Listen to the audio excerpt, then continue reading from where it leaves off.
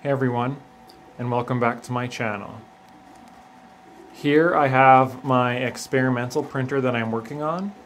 This is a very fast Core XY DIY printer that I've been playing around with. Essentially this is the guts of one of my SimpleCore printers, my smaller 200 build. Um, I wanted to just try out some things that I've been learning over the past uh, year or so here designing printers and I've seen this before um, using carbon rods here for the X. There's a YouTube channel Tech2C. He did this a long time ago. I don't I think maybe 2016 or something like that or, or definitely a very long time ago. Um, I know the new Bambu Labs X1 is coming out with carbon rods on their X and I just kind of wanted to try it out for myself. So I really quickly put together the lightest X carriage I possibly could. This doesn't even have a um, hot end cooling fan. There's literally no fans on this carriage whatsoever. And um, my my revision for this, it will have, of course, a 30 millimeter uh, hot end fan. It's generally uh, recommended. I mean, this does print fine without. However, super long prints or higher temperatures definitely will not work without a hot end fan. I have put together some really, really janky um, cooling on the side, just using some computer fans, which definitely are not the greatest. You can see I've a 140 millimeter on this side and 120 on this side. They do have sufficient cooling, um, I can actually print a Benchy on this printer in about 23 minutes and it's acceptable, which I think is pretty impressive. I'm actually printing this uh, model here at 0.16 layer height at 150 millimeters wall speed, 100 millimeters infill, and 600 millimeters travel. This printer is printing at 10,000 acceleration and it's very, very stable because there's literally no weight on the X carriage. I learned a lot here on my large SimpleCore here, the 300 size. The X on this printer is so heavy. This 2020 extrusion and the linear rail and all of this here adds so much weight to the printer. The inertia just shakes the printer around if you're printing really fast. So this little tiny printer here can print so much faster because of the weight. I know Klipper has input shaper and stuff like that, but the less weight you can get rid of, the better. And the X on this is insane light.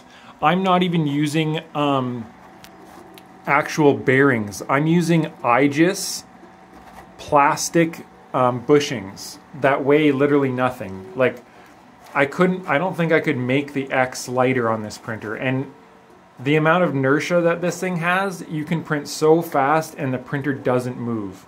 I'm also running closed loop stepper motors here.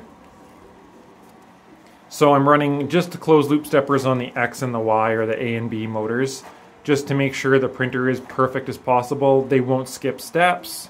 They're very, very quiet, low vibration, um, and I only needed two of them and it worked out perfectly. I essentially built this this printer here using scraps, uh, leftover parts.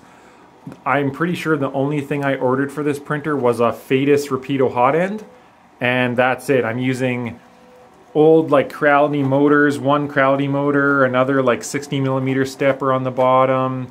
I'm using some Moons motors. I actually have this printer using two boards. So there's a old 8-bit MKS 1.4 and then I have an SKR Mini down at the bottom. So I'm running two main boards on this. It's of course running Klipper and like I say 10,000 acceleration. It probably could go to 20,000.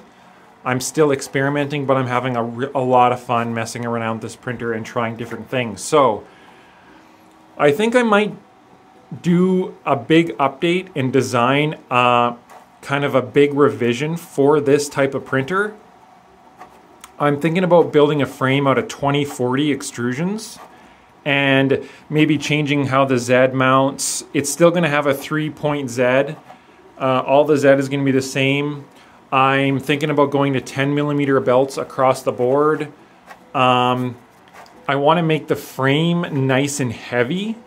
Not so much like crazy rigid. It, it will be rigid, but I, in my opinion, the more rigid the frame, the more vibration that actually gets into the frame.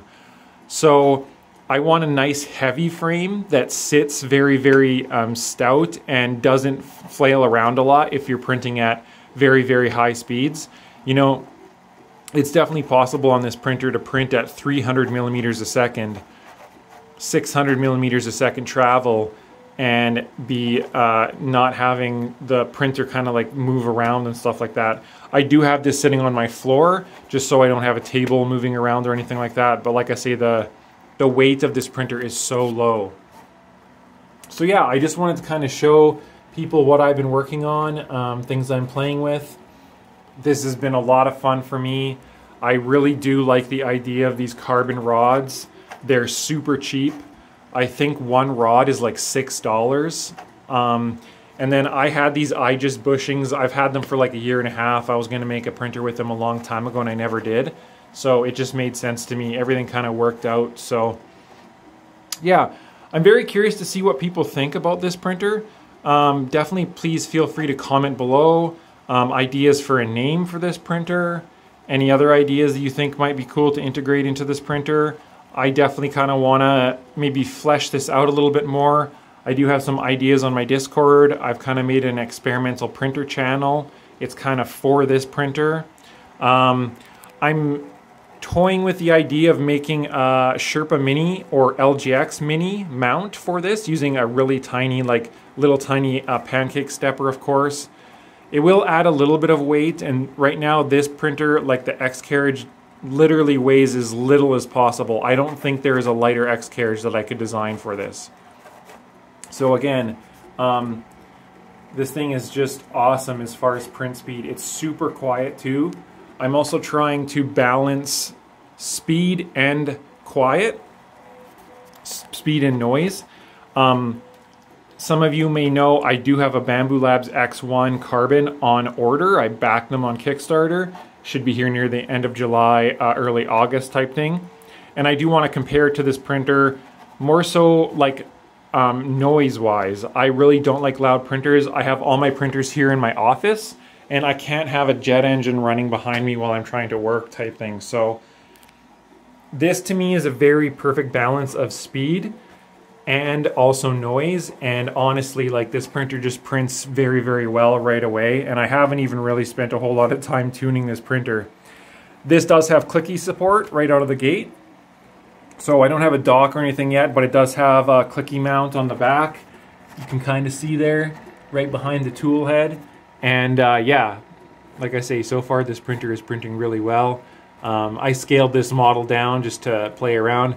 This is a tiny printer, only about 150 by like 180 build size right now, but I would like to design a 250 by 250 printable printer based on uh, this kind of idea.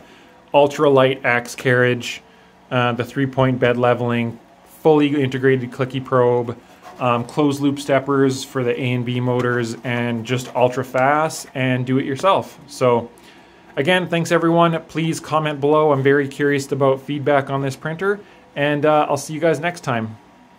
Thanks.